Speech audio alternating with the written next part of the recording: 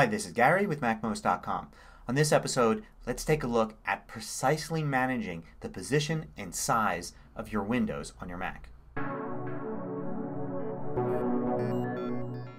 So if you're like me, you like to have precise control over the size and position of windows that you're working with. So here I've got a Pages document in a window and I've got a Finder window here and I can move them around but they go beyond the edges of the screen to the left and right. I would love it if they would just stick there so I could just move it to the left. I also would like it to fill the screen. Hitting the green button here actually changes the app to be a full screen app. The window is now filling an entire desktop space. I don't want that. So uh, I can achieve somewhat what I want by option clicking on the green button. So I'm holding the Option key down and I click and it will expand to fill the space but not any larger than what this window needs. So here you can see now the window shows the entire document so there's no need to go more to the left or right. If I were to zoom in to say 150 and then Option and click the green button you can see it gets even bigger but doesn't quite fill the screen. I actually have to go to 200 here for it to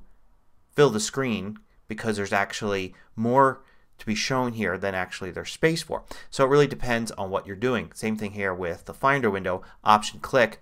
It's going to not fill the screen but it's simply going to expand to be as big as it needs to be to show you all the stuff. So how can you get more precise control over your windows? Well there's a couple tricks you can use and there's also an app that a lot of people like. So here's one trick I like to do. I like to grab the edges of the window. So you can move the cursor over the edge of the window and you get the little double sided arrow there. And you can drag to the left and the neat thing about this is it actually stops right at the edge. So you drag, drag all the way over. And then you could do that for basically every side even including the top and you could quickly get it to fill the entire space no matter what the content is here in the middle. A quicker way to do this is to get that double-sided uh, cursor right there and hold the Option key down and that will drag not only that edge but the other edge in equal amount. So it's a little quicker. So what you need to do here is you need to drag the edge that is clearly furthest away from the edge of the screen. It would be this one. If I do that, notice on the left side it stops when it gets to the edge. So all I need to do is drag all the way to the right. The left side I get for free. Same thing with the top and bottom. I'll drag the bottom holding the Option key down. The top moves up and it stops there at the top. So it's very easy to quickly get uh, something like that going just by dragging two edges. You can also do the corner, the bottom right corner. If you move the window up here so the bottom right corner is furthest away from the right side and the bottom.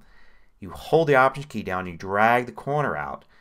You can very quickly fill the entire screen with this window in just that one quick action as long as you kind of drag it to start at the upper left to begin with. Now even if you're familiar with those modifications of dragging the edges of the window, I bet you didn't know that if you grabbed an edge and you held the shift key down and you dragged, you basically are expanding three sides and holding the opposite side steady. So there I'm holding the top steady. Uh, if I shift and drag here I'm holding the left side steady. So that might get you what you want as far as control uh, in one action. Now if you want even more control than that you can go to a cheap third party app. There's something a lot of people like and you can get it in the Mac App Store. I'll put a link to it uh, in the notes for this episode at MacMost.com. It's called Better Snap Tool and I'll run it here. And basically Better Snap Tool once you run it and it's going. You get this little menu item here which allows you to access the preferences and do all sorts of things. And then all your windows behave in a special way.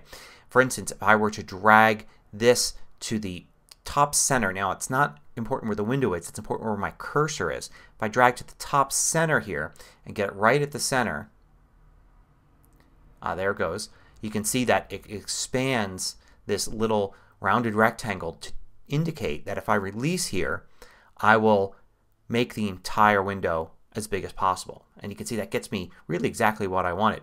In addition there are other settings. For instance if I were to drag and again not pay attention to the window itself but the cursor and go to the upper left you can see it will lock into this size here at the upper left. Same thing with the upper right and other corners.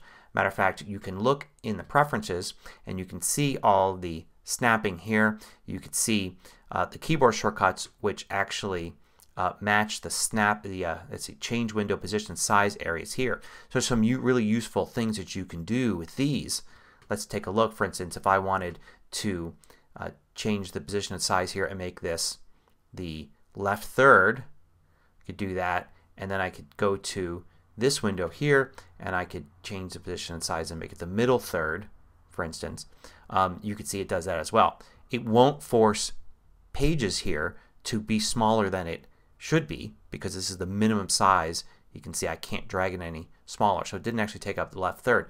But you can see there's a ton of different really cool options as well as custom settings that you can create and custom snap areas and sizes and things like that. So if you really want full control you should look into getting this app from the Mac App Store. Currently it's uh, only three bucks and you can set keyboard shortcuts for things. So if I wanted to have this maximize uh, feature here which is what I use all the time to be easy to access. I can set a keyboard shortcut for it or I could set it for any one of these other ones. Um, even if I have multiple screens, which I do, uh, I can use some things here to actually put it onto the next monitor and set it up. So this is a very useful app if you want to have complete control over your windows very easily.